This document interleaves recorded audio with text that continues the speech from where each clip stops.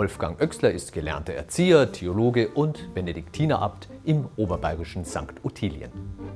Ein Kirchturm, der sich unauffällig zwischen grünen Wiesen und Bäumen erhebt, bunte Lichtreflexe auf einem Marmorboden, ein hölzernes Wagenrad oder eine Brücke, die sich im Wasser spiegelt, kunst- und stimmungsvoll fotografiert. Diese Haltestellen für Auge und Seele bestimmen dieses Buch genauso wie die darauf abgestimmten Texte.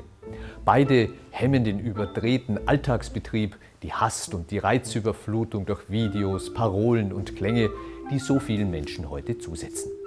Unter Überschriften wie Sehnsucht und Aufbruch, Annehmen und Verwandeln oder Gehimmelt und Geerdet bieten sie eine Kultur der Ruhe, der Achtsamkeit an. Die Gedichte, Gedanken und Geschichten in diesem Buch sind kurz und haben oft Witz. Meine Lieblingsanekdote ist die vom Astronauten, der einem Chirurgen erzählt, dass er nicht an Gott glauben kann.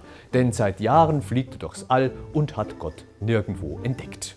Der Chirurg antwortet darauf, ich operiere seit Jahren Gehirne, habe dort aber noch nie einen einzigen Gedanken gefunden.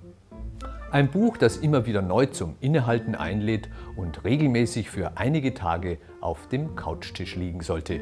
Oder noch besser auf dem Bürotisch, um eine Haltestelle für die Seele zu haben, wenn wieder einmal alles rund geht.